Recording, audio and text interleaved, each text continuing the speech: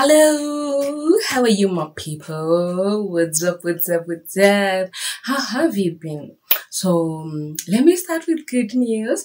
hmm So last, uh, in the last three months, we our views have gone up. my sub- in fact, I was just looking. My subscriber count in March was at two thousand, and now we are heading to four thousand five hundred. Hallelujah! Drum rolls, please. Okay.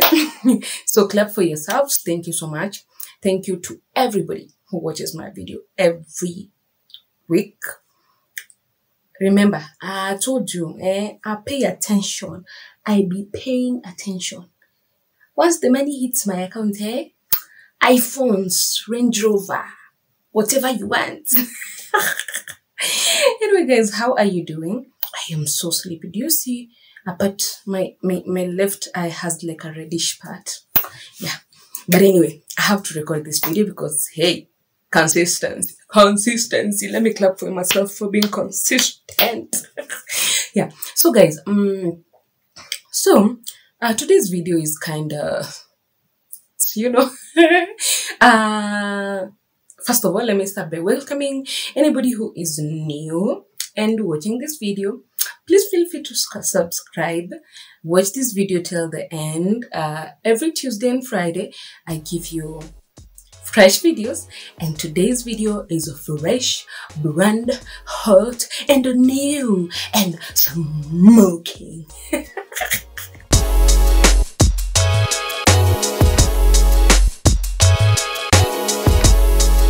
today it's a story time series and if you have not watched my other stories please uh look at the subscription of this video uh sorry look at the description of this video. Hey i am used to telling you people subscribe subscribe. Anyway look at the description uh in the video and then you're going to get the links of the other uh story time series that i started. And uh yeah so let's get entertained. Hi! So uh, I know this is going to sound very strange, but for some strange reason, I always wanted to have international friends. I don't know why. I just feel like I used to think that if I have international friends, then it's going to be like a cool thing or something. I don't know why. Yeah. So, uh, I remember this one uh, time my friend came. I was in college back, uh, I think in 2013, 2014, thereabout. My friend came to school one morning and she was so tired. And I'm like, why, why are you so sleepy today? Are the lectures that boring? And she's like, no, I was up all night talking to my friends from Australia. And I'm like, ah. Papa God, these are the kind of problems I want. But my village people, they will not let me prosper. They will not. Hmm?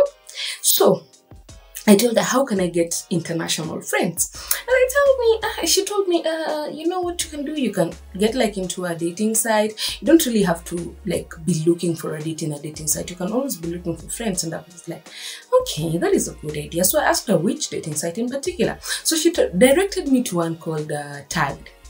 I don't know whether it still exists though. If it exists, please let me know.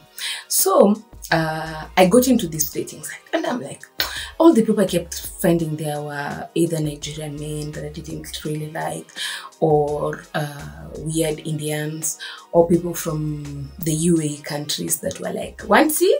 Want see me? Want see me give you milk? Yeah, that is, you know? Yeah, so I was like, okay, this thing is not working. So when I was about to actually deactivate it because I felt like it was not really doing me any, um, it wasn't giving me any value. Hi, I just said value. Chai, Papa God, my village people have followed me to YouTube. Ah, ah, you cannot do this to me. anyway, so uh, I, I felt like it was not adding value to me and it was not even giving me international friends. So I was like, ah, you know what? To hell, to hell, to rules, deuces. and then uh, this, I I one time, I think one afternoon I was bored and I logged in. Then I saw this uh, message from this guy like, "Hi Doreen, uh, so I just saw your profile and it looks so interesting, and I would really want us to talk. But then I want us to talk something that is more business." I'm like, "Business? Does he want me to sell him my kidney, or Uh, and then I started calculating the value of a kidney, and then I saw I was about to become a millionaire, and that was not a really bad thing because I can use one kidney, you know. And then, uh, until I realized that people living with HIV cannot really donate their organs. So, uh, as we were conversing, he, I asked him what business. He told me we need to meet personally and talk, and then, you know, uh, he'll get to tell me. So we set a date, and he was not those typical guys on the side hitting on you. Mm-mm. Actually, I think that is the red flag I never really saw, and it didn't really look like a red flag, I see. So I went, I met him. Uh, but he actually he set up a date at some place in Karen. So we were there talking. You know those places where you go, they ask you, uh, so what will you have? You say water. They ask you hot water, warm water, lukewarm water, cold water, uh, distilled water, uh, the other water that has bubbles in it. What is its name? The one like aqua mist, but it's bubbly. There is a name it is called you know like the instead of the you, you're about to tell them give me water i don't care i don't care whether it's sweet flavored whatever just give me water you know so we went to that kind of place and uh, then i ordered food that actually that was my first time to uh, get to wash i don't know whether it's washing your hands or just cleaning your hands with a hot towel. Kwanza when, when they brought the hot towel i was like okay so so what is what does the towel do? So instead of me asking i waited for him to do it. And then and then i called, and then i could like see what he was doing. So he wiped his hands and i was ah okay it's for wiping hands. Aha. so i wiped my hands with it. So after he went after the towel person went so we were there i was asking him so what do you do? Uh, what kind of business proposal do you have in mind? And all that. So he was like uh, first of all he told me he is a thief. I laughed because i'm like i thieves don't say that they're really thieves you know what i'm saying so he, was like uh, yeah i'm actually a thief and i was like i know you can't be a thief He was. He is a thief. He was a thief. Okay. Let us. You will. You will learn very soon how he was a thief. So I later on asked him. Actually, tell me like the truth. What do you do? So he told me, I make money. I'm like, uh, the essence of life is basically to make money. So he told me, yeah, but uh, personally, I make like I literally make money. So I told him, okay, fine. Mm -hmm okay that's that's that's good that's good we can do with that so he told me he has a cousin who works for De La Rue and uh, the cousin brings him um, um, money making equipment. And as much as he has a, he had a Nigerian uh, accent he lied to me that he's from a country called Sao Tome and Principe a country I went to visit one day and become president there. Very valid dreams. Very very valid dreams. So uh he he I, I in fact that i think was the very first time i heard of such a country. So i googled and i'm like oh okay he's from he's at sao tome's what what are people from sao tome and principe called if not sao tome's anyhow moving on swiftly so there we are uh, Mr. Man is there telling me, uh, you know, my work is to make money and I know you're just a student so probably you don't have the kind of money I want. Let me tell you, when the devil cannot reach you, he sends your village people who sends us out to miss who comes to scam you of money you do not have. Let me, I will get where my village people come inside the story. So, my mom had uh, had sold our matatu. We used to have a matatu. So, when she had sold the matatu, she had uh, matatu for those people who don't understand local language is a, uh, we had a public uh, transport vehicle that used to to uh, carry people to and from. I'm trying to, to find the right English word and I can't seem find it. So yeah, we used to have a, a matatu and uh, she sold it. So she deposited the money into my account. And so you see, I had money. Like I was rich. Anyhow, so so uh, that is how now my village people came and sent the Sao Tome man into my life. So the Sao Tome man is like, I know you don't have the money. I'm like, oh no, you know, try me, try me, boy. Mm-hmm. I got money, I got cash. cash that was not even mine. so uh, he told me, do you have 200 shillings? I did not have 200 shillings. I had only 500 shillings between me and life. Basically, that was like my half of the allowance that I was given every week. So he's like, okay, uh, give me that 500. I was like, if he, if he runs away with my 500, how am I going to reach home? Hi. But he, he, actually uh, took the money asked the waitress for warm water and then told me just a minute i'm going to multiply your money i'm like uh-huh, uh-huh, you know i'm about to become a rich human being. Let me tell you there is nothing as easy money. It is always a scam. It is a fraud. It is a big fat fraud. So mr man uh, takes the money mixes it with some weird chemicals. Boom! I have 1500 shillings to my 500 give birth to two babies I am like, ish. My 500 was pregnant and now it has two children. Ah. So I actually thought it was um, it was fake money. So I went to the supermarket with that money. I don't know if I would have been arrested at the supermarket, what I would have said. But I, I used that money to shop and I came back home. So when I was home, uh, that we met on a Friday. On Sunday, he sends me a text. Hi, can you please send me a hundred shillings credit? I'm like, this man just spent 5,000 shillings on our bill. Why is it that right now, two days later, he is now asking me for a 100 shillings credit? That It does not make sense. It does not add up. It is minus times BODMAS, you know? Find y equals to xmxzc. It does not make sense at all. So I told him I don't have money. I told me, yeah, you know, I'm like here, you know, here in Karen, we can't go out easily to go and find credits. I'm like, ah, okay, it, uh, at this point, you will just have to send someone.